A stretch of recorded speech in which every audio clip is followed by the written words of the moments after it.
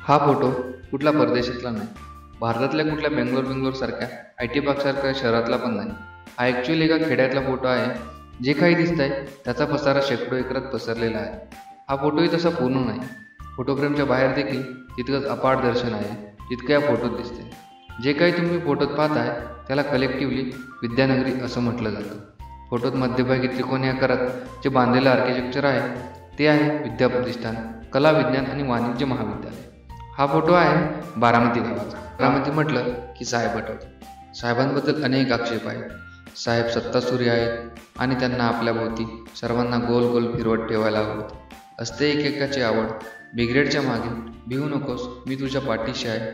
असे म्हणणारे ते आधुनिक समर्थ आहे वामनाच्या वळचणीला बसलेला इतिहास बाहेर काढून त्याला लक्क घासून पुसून त्याचा नवीन सर्व धर्मभाव समभाव आणि सेक्युलर रूप उजळून आणणाऱ्या नवइतिहासकारांचे खंदे आश्रयदाते आहेत.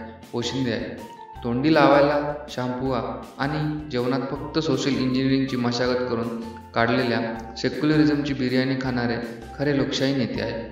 हे आहेत ते आहेत असे आहेत तसे आहेत. साहेब लय काय काय हरेक ठिकाणी आहेत. जळी स्थळी काष्टी पाशाणी त्यांचा वास असतो. चराचरातील हर एक गोष्टीमध्ये त्यांचा हात असतो. पण मी आजपर्यंत कुणालाही विद्याप्रतिष्ठान विद्यानगरीबद्दल बोलताना ऐकले नाही. चांगलं वाईट असं दोन्हीही. प्रशस्त ऐसपैस हवेशीर वर्ग. मोठमोठी ग्रंथालये प्रचंड मोठी मैदाने मोठमोठे जिम्नॅशियम्स सगळीकडे मुद्दामून झोपासलेली हजारो प्रकारची फुलझाडे आणि हिरवळ. एकदा बालवाडीत पोरगा घातला की डबल ग्रॅज्युएट होऊनच बाहेर निघेल. इतका शैक्षणिक संस्थांचा आवाड होईल पण नेटका शिस्तशीर पसारा. जवळजवळ पाच हजार मुली आणि तितकेच मुले राहू शकतील इतकी भव्य वसतिगृह. एका रूममध्ये एकाच ब्रांचला शिकणाऱ्या चार किंवा पाच मुली राहण्याची सोय आणि रूमची जागा पाहिली तर जवळजवळ पंधरा माणसे आरामात लोळतील इतकी मोठी. दोन हजार साली इथे आय टी कॉलेजचं उद्घाटन झालं. देशभरातून दिग्गज नेते गोळा करून साहेबांनी आणले. प्रमोद महाजन चंद्रबाबू नायडू भुजबळ यांना एकाच व्यासपीठावर अनेक जणांनी बोलताना पाहिले. असे अनेक कार्यक्रम इथे आजही होत राहतात. माझा प्रश्न असा आहे बारामतीमध्ये ज्या प्रकारे विद्यानगर उभं केलं गेलं तसं स्ट्रक्चर महाराष्ट्रात अजून कुठल्या गावात कुठल्या मंत्र्यांनी बांधून दाखवले हा उपवास नाही माझा प्रामाणिक प्रश्न आहे.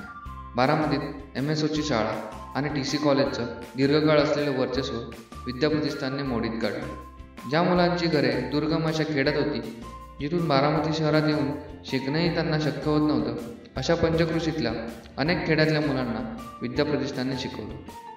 इंदापूर फलटण भिगवण शिरसुपळ मोरगाव माळेगाव निरा कर्रा अशी गावेच्या गावे विद्याप्रतिष्ठानमध्ये येऊन शिकून गेली. जशी विद्यानगरी बांधली तसंच माळेगावला शारदानगरसुद्धा डेव्हलप केले गेले. असं म्हणतात की विद्याप्रतिष्ठानच्या आर्किटेक्चरचा जो कलात्मक सेन्स आहे तो अजितदादांमुळेच. त्यांनी इमारती मानताना त्यांच्या जातीने लक्ष घातले. माझी माहिती खरी असेल तर अजितदादांची मुलेही विद्याप्रतिष्ठानमध्येच शिकली आहेत. त्यांच्यामुळे विद्याप्रतिष्ठान हे आजसुद्धा आणि पुढच्या काळातसुद्धा राजकीय इच्छाशक्ती असेल तर किती जबरदस्त कन्स्ट्रक्टिव्ह काम होऊ शकतं याचं ज्वलंत उदाहरण म्हणून उभं आहे. तशी इच्छाशक्ती परत साहेबांनी दाखवली नाही. आणि दुर्दैवी की काय? त्यांच्या इतर सर्व दुर्गुणांवर बोलणाऱ्या नेत्यांना स्वतःच्या मतदारसंघात साहेबांचं विद्याप्रतिष्ठानच्या उभारणीसारखं कार्य करून दाखवायलाही जमलं नाही. साहेबांचे ऑन द रेकॉर्ड एक आणि ऑफ द रेकॉर्ड हजारो राजकीय पुतणे आहेत जे त्यांच्यावर कायम दात खाऊन लिहित असतात. चुका दाखवणं सोपं आहे आणि आवश्यकसुद्धा पण ज्याने नव्वद टक्के पाप केले त्याच्या दहा टक्के पुण्याचा विचार गंगेत का सोडून द्यायचा? त्याबद्दल का नाही बोलायचं? माझ्या मते साहेबांना या गोष्टीसाठी सकारात्मक क्रेडिट द्यायला त्यांच्या लाडक्या ऑफ द रेकॉर्ड पुतणे कंपनीची काय हरकत असणार आहे? तुमच्या हरकती तुम्ही अर्थात व्यक्त करू शकता.